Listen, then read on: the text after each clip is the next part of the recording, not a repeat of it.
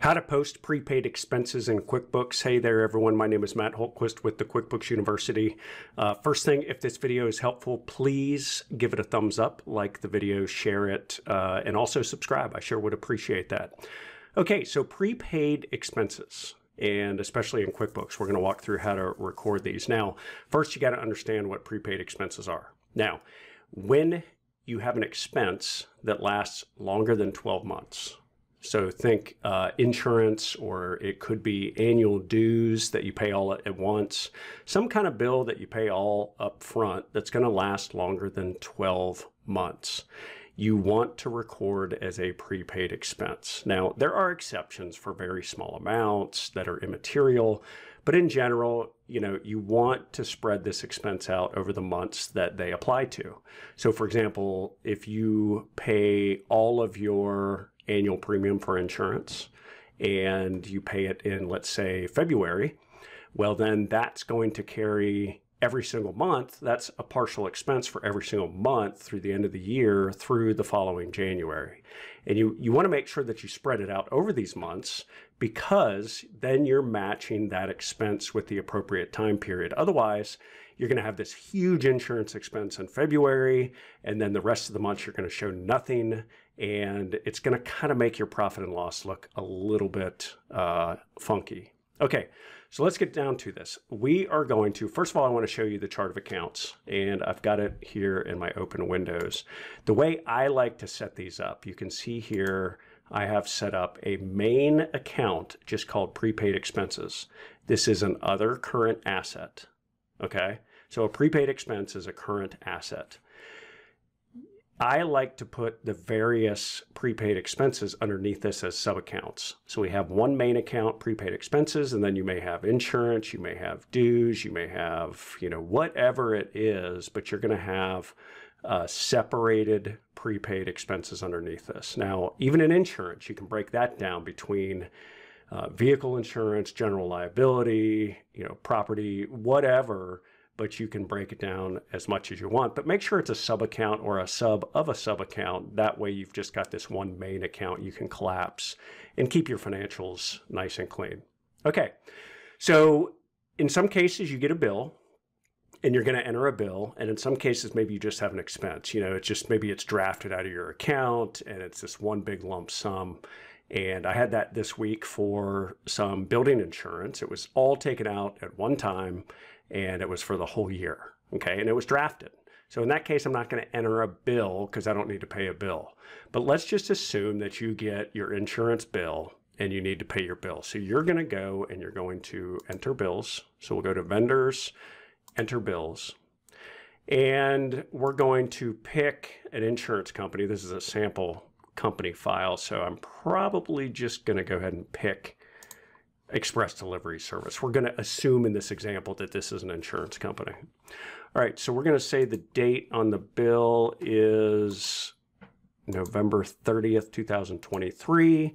We'll say that we have a bill number, and we're going to say that uh, this insurance is $6,000 for the full year. Okay, so they sent us this. It's due in 30 days and it's $6,000. Now, normally when you're entering a bill, you're going to want to put the account here as an expense. But in this case, we're not going to do that. Okay, you want to hit the drop down menu and you want to go to that other current asset that we set up for prepaid expenses insurance. So there it is right there insurance, prepaid insurance. We're putting this as an asset. This is not an expense. So this is $6,000.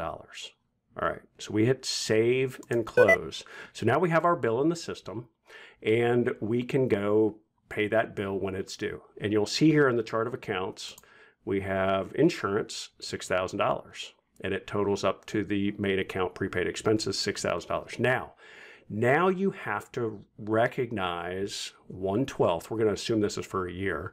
One twelfth of this expense every single month. Now, the easiest way to do that is through a journal entry.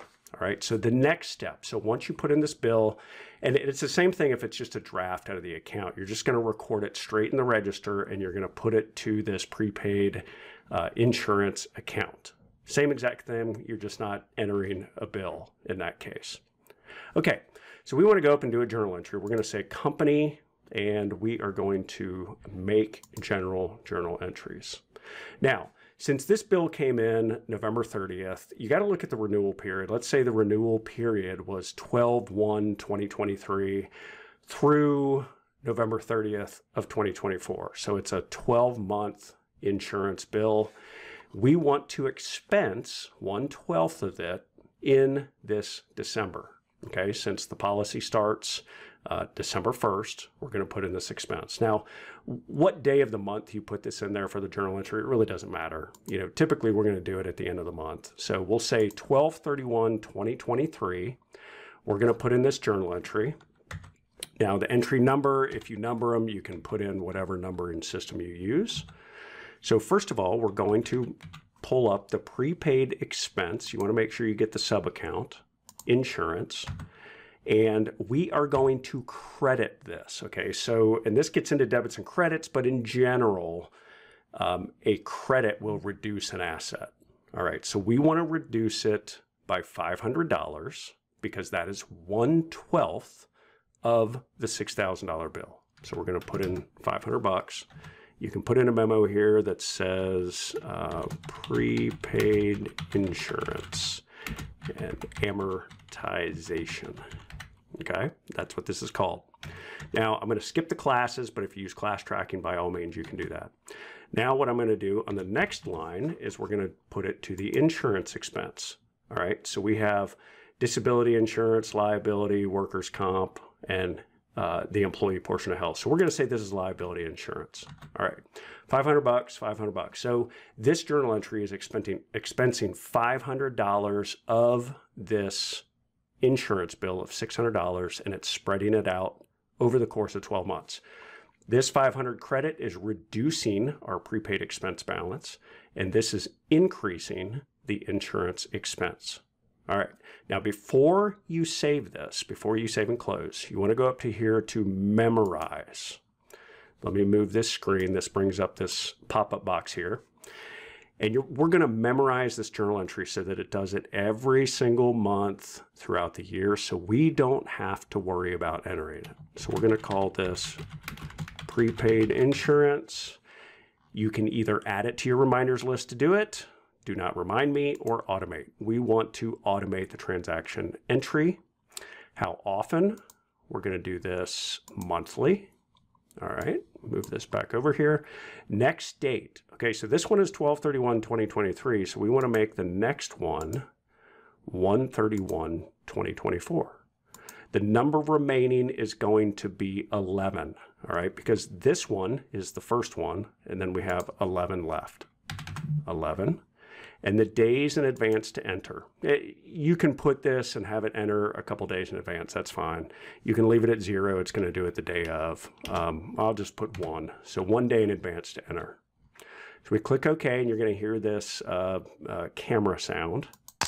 There it is there. All right. So then we're going to save this. We're going to save and close. All right. And you'll see here now that our prepaid insurance is down by 500 bucks. All right.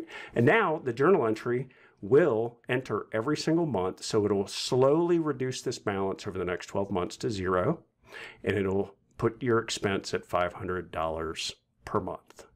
So those are the basics of how to post prepaid expenses in QuickBooks. If you have any questions, any comments, please feel free to leave those below. Also, go to the QuickBooks University. I've got a link in the description of the video. I've got it in the first comment that's pinned here. Go check it out. Check out the masterclass. Got a lot to offer over there. You won't be disappointed. Look forward to talking to you soon.